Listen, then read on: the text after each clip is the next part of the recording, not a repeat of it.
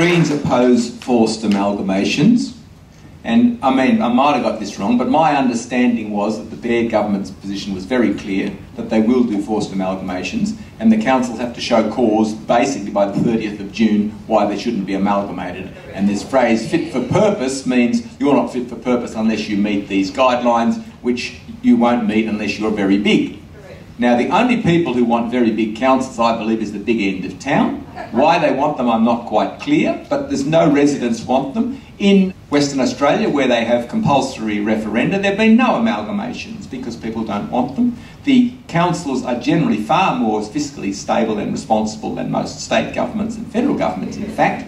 And so it's a much blacker kettle calling the pot, as it were. Certainly, the Greens do not support amalgamation the suggested size is 250,000.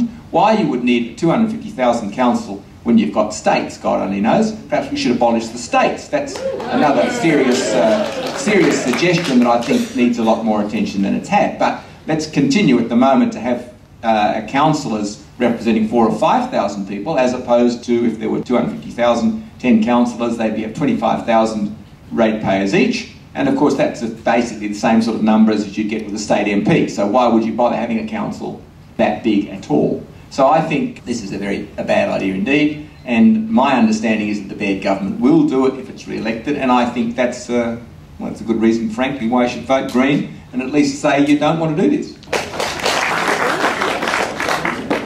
Thank you.